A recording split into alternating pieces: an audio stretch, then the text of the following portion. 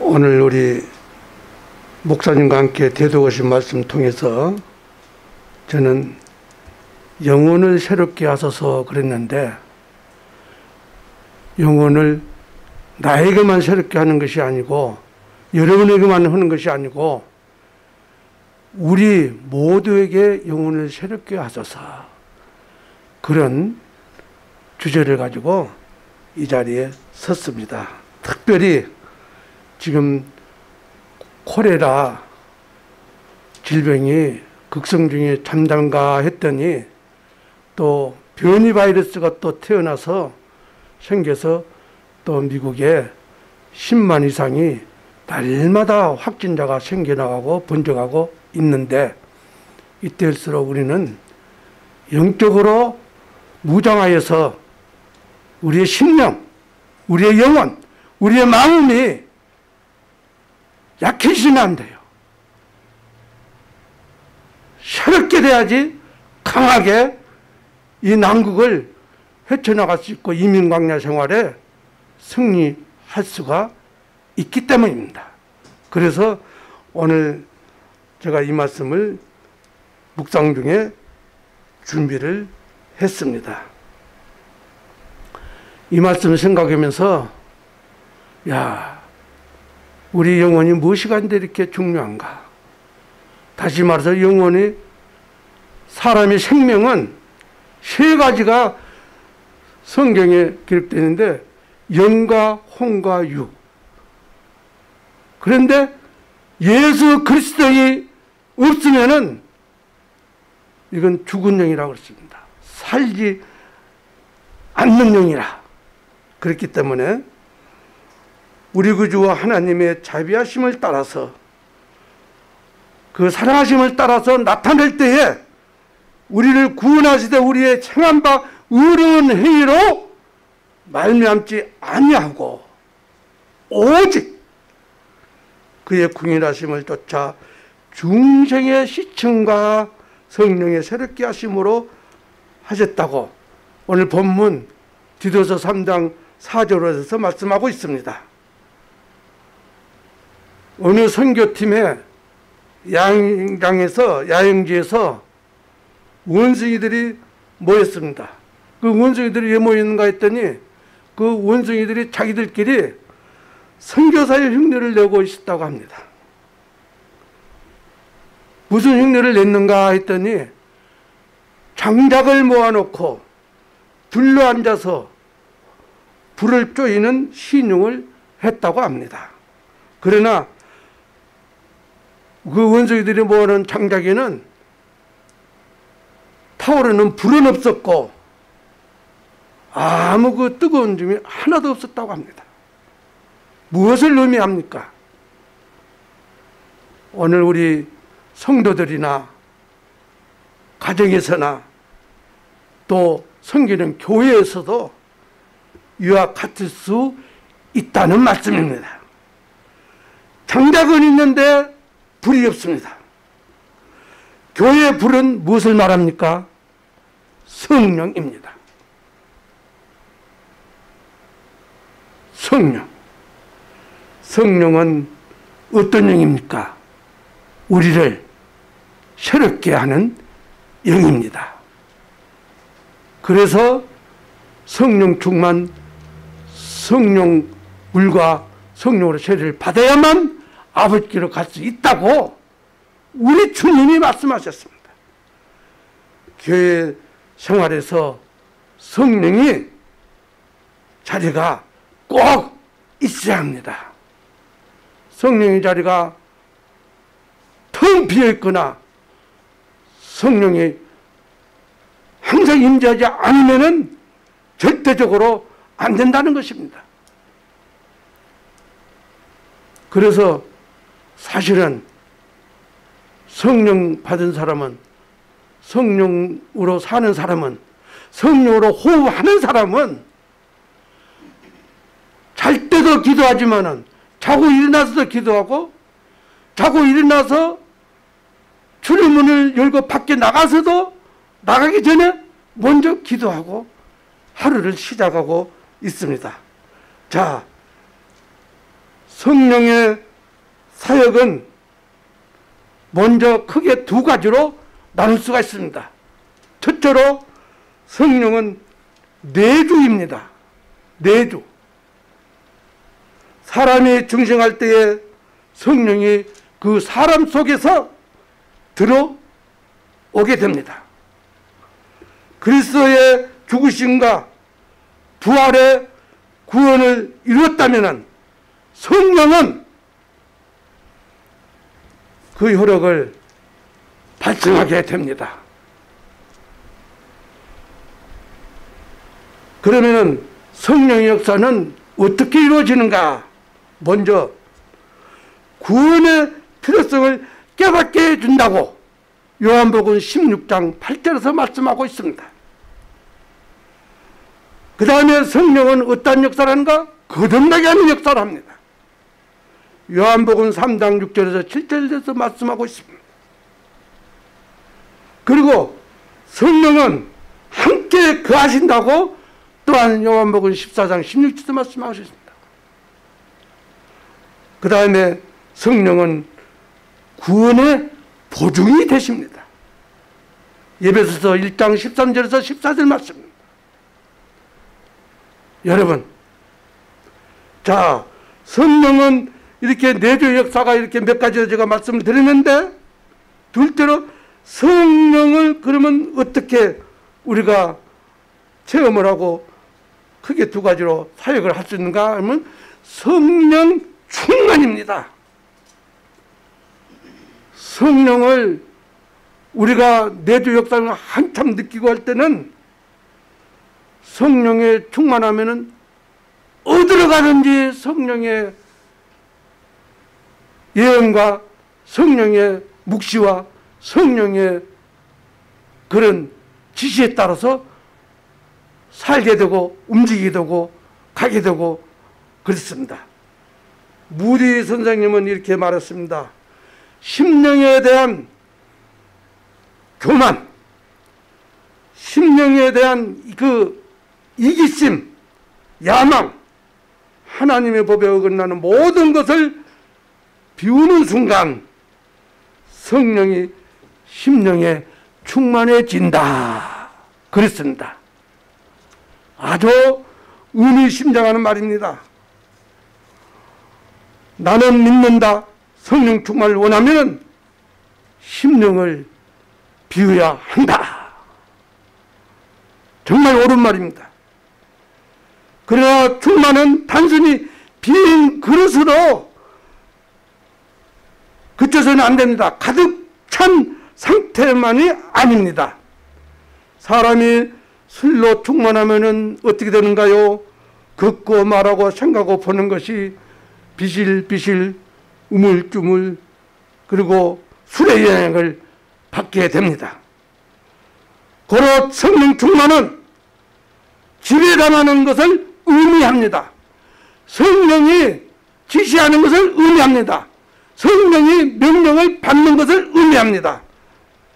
영국의 어떤 집회에 무디 선생님을 강사로 모시자고 했습니다.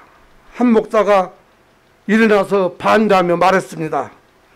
교육도 못 받고 경험도 없는 그 성령을 독점이라도 무디 선생은 했던가요? 다른 목사가 또 대답을 했습니다. 아닙니다. 성령이 무디 선생님을 독점하고 지배하신 것이죠. 성령이 독점한 사람에게는 무슨 일이 일어납니까? 첫째는 자의 싸움에서 구해 주신다고 로마서 7장 22절에서 8장 1절에서 말씀하고 있습니다. 그다음에 그리스도를 닮게 한다고 갈라디아서 5장 22절에서 23절에서 말씀하고 있습니다. 진리를 가르쳐 주신다고 고린도전서 9장 2장 9절에서 10절에서 말씀하고 있습니다. 그 다음에 로마서 8장 14절은 성령이 지배하시면 항상 인도해 주신다고 했습니다. 그그 다음에 예배서 3장 16절에 능력을 주신다고 했습니다. 그 다음에 사도행전 1장 8절은 사마리아 유대와 온 지파에 이르기까지 너희가 권능을 받고 그래서 다시 주인되는 권능을 주신다고 했습니다. 성령을 통해서만이 참으로 새로워질 수 있음을 말해주고 있습니다. 자, 성령의 지배를 받으려면 그러면 어떻게 하는가? 다섯 가지 기억할 것이 꼭 있습니다. 첫째는 결단입니다. 성령 충만의 삶을 살겠다는 절대적인 결단이 필요합니다. 그냥 말로만 적당히 성령 충만의 삶을 계속 지속할 수가 없기 때문입니다. 왜 그러냐? 결단해야만 이 사탄 원수 마귀가 항상 시험을 하는데 시험을 거쳐서 이게 나갈 수가 있습니다. 헤쳐 나갈 수가 있습니다. 내건 대통령이 어려서 구두끈을 어, 끝을 못하게 하라. 둥글게 하랴. 묻는 그 구동의 질문에 대답을 못했더니 한 짝은 못하게 한 짝은 둥글게 만들어 놓고 남이 너의 결정을 대신하게 하지 말라고 하더랍니다. 내가는 이야기를 하며 내가 결정 못하면 남이 한다 라는 사실을 배웠다고 합니다. 우리는 우리 자신이 성령 충만으로 임하면은 먼저 결단이 꼭 있어야 합니다. 둘째는 지속입니다. 지속. 결단만 하고 연결 안 되면 안 됩니다. 계속 지속해야 된다. 성령 충만은 일시적인 사건이 절대로 아니옵시다. 그저 순부분교의 신앙 가진 그런 열성적인 파는 신앙을 세상말로 냄비 신앙이라고 그렇게 말하죠. 냄비 신앙. 그래 우리는 나는 뭐 꼭 장로교 목사라서 그런 거 아니고 뚝배기 신앙을 가져. 뚝배기. 설렁탕이나 곰탕은 짧은 냉면 그릇이 아이가 냉면 그릇보다도 저 냄비에다 둬도 뚝배기다. 한국에서 다 식당 보면 주죠. 뚝배기. 설렁탕이나 또 곰탕이나. 네. 왜 그랬습니까? 계속해서 뜨거움을 보호해주고 지속해주기 위해서입니다. 다시 말해서 잠깐 뜨겁다 식어지 뿌리지 말고 계속 지속을 하는 그 말씀입니다. 다시 말해서 역적인 백신 주사가 아닙니다. 계속적 경험입니다.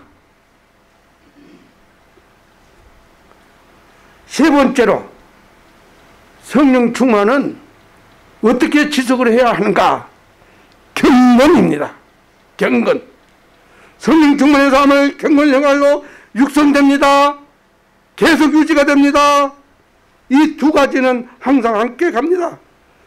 주께서 원하시는 영적 사람이 되려면은 하나님의 말씀과 함께 시간과 기도하는 시간이 꼭 필요 합니다. 그래서 저는 그 이 말씀을 생각할 때에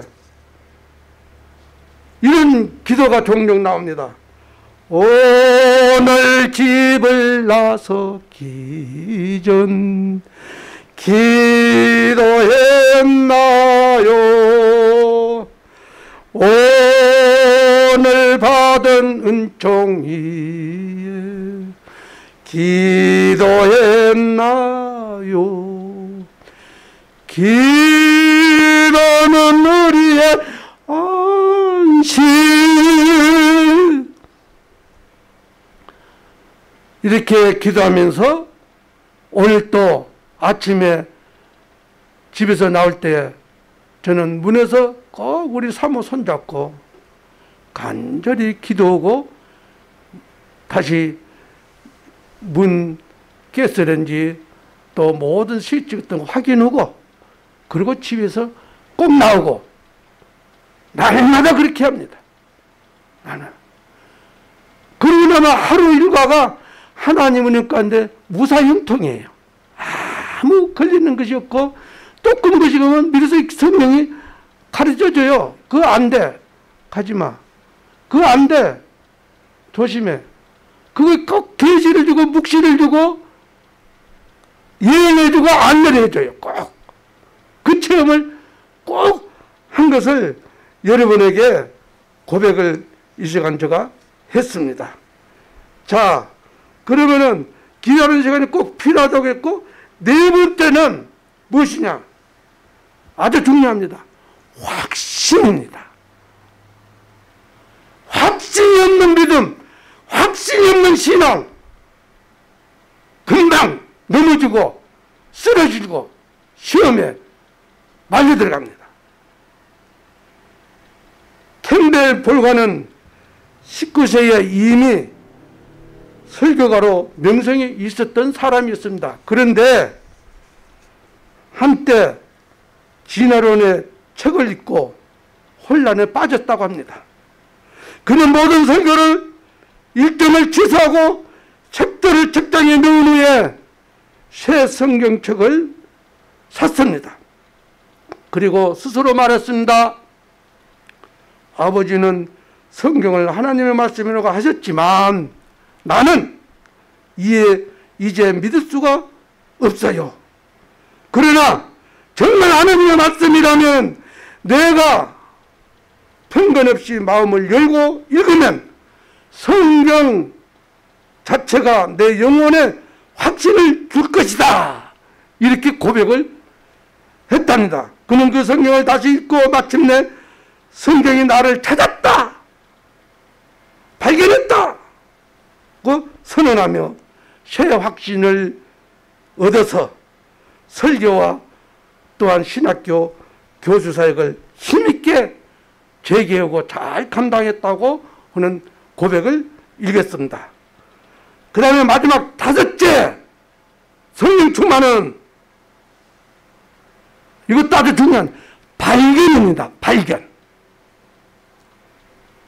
성령 충만의 삶은 매일매일 하나님의 선하심과 부여하심을 발견하는 삶입니다. 깨닫게 하는 삶이 됩니다. 또한 너의 지체를 불의 뱅개로 죄에 들이지 말고 너의 지체를 의의 뱅개로 하나님께 드리라 로마서 6장 3절에서 말씀하고 있습니다. 이것이 발견의 비밀입니다. 나를 온전히 하나님 뜻에 맡길 때 성령의 역사를 발견하게 되는 것인 줄로 믿습니다. 그래서 어느 목사님은 뭐, 이 근처는 아니고 저쪽에 나 사는 근처 어느 목사님은 다 이에 맞추고 축도 끝난 다음에 주여 뜻대로 하옵소서. 꼭 이걸 걸 주여 뜻대로 하옵소서. 아주 그거 아주 그냥 어 아멘처럼 그걸 꼭 사용하시는 목사님을 봤습니다. 그, 그 일리가 있어요. 주의 뜻대로 하옵소서 그 말은 그 말을 자기 입으로 자꾸 그렇게 고백하고 내는 말은 내 뜻대로 안 살고 하나님 뜻대로 살겠습니다. 하나님 책임져 주셔요. 그 고백이에요. 네. 항상 주일마당 동동 그걸 제가 듣고 느꼈습니다. 아라비아의 로렌스 아라비아 족장들은 같이 동반하고 있었는데 런던을 갔다고 합니다. 함께. 런던에 아주 세계적으로 유명한 역사적인 도시이기 때문에 놀란 것이 있습니다. 그 중에도 폭포처럼 물이 쏟아져 나오는 그 수도꼭지 물이 그렇게 그 너무너무 신기했습니다. 너무너무 신기해서 자기 숙소, 자기들 숙소 그 호텔 숙소에 가서 그 번쩍번쩍하는 그냥 금빛 나는 그 수도꼭지를 너무 놀라서 그들이 돌아간 후에 호텔 매니저가 그들이 쓰던 방을 갔더니 그분들이 쓰고 있던 방에 수도꼭지가 다 사라지는 것을 알게 됐습니다. 다 빼갔어요, 수도꼭지를. 그것만 있으면 물이 나올 줄 알고, 수도꼭지가 그것만 가져가면 자기들이 가져가서 쓸 줄 알고, 수도꼭지는 수도 간에 연결되어야 재구시를 합니다. 하나는 알고 둘은 몰랐습니다. 마찬가지로 성령 충만은 우리가 이 다섯 가지 꼭 잊지 말고 이행하신다면 성도들이나 또한 사역하는 선교사들이나 우리 주의 동역자들이 꼭 다섯 가지를 이용하면은 날마다 시간마다 분마다 품마다 승리할 수가 있는 줄로 믿습니다. 그래서 그리스도인의 성령의 지배를 받지 않으면 아무 힘도 쓸 수가 없고 그리스도를 본받아야만 살 수가 있는 것인 줄로 믿습니다.